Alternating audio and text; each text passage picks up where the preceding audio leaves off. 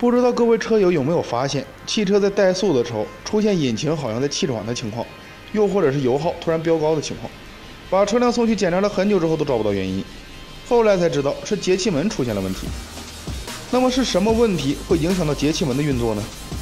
节气门是控制空气进入引擎的一道阀门，当你踩油门时，节气门就会扬起一定的角度，让引擎吸入相等的空气燃烧，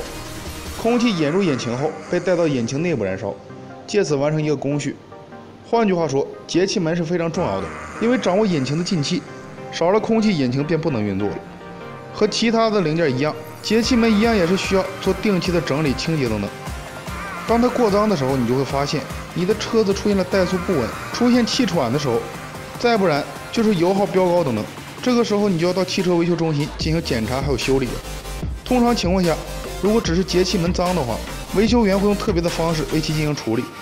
当然，如果你艺高人胆大的话，其实清理工作也可以自己来，因为在老款的车型，清理节气门并不是那么困难。还有另外一种情况，就是整个节气门出现损坏，这个情况下，